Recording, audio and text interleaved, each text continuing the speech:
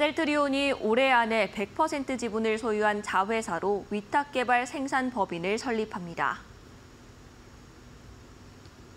셀트리온은 오늘 주주 대상 공지문을 통해 항체 개발 및 생산 노하우를 활용하면서 낮은 증설 비용, 높은 생산성을 바탕으로 기존 CDMO 기업을 뛰어넘는 경쟁력을 확보하는 것이 사업 추진의 중요 포인트라며 이 같은 계획을 밝혔습니다.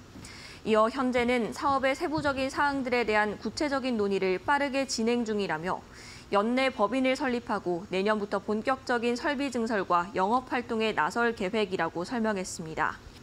자가 면역 질환 SC 치료제인 진펜트라와 관련해서는 계획대로 연간 매출 1조 원을 달성할 수 있을 것이라고 덧붙였습니다. 또 제품 포트폴리오 확대 및 점유율 상승 등을 고려할 때 예상 매출 5조 원은 무난히 달성할 수 있을 것으로 예상된다고 강조했습니다.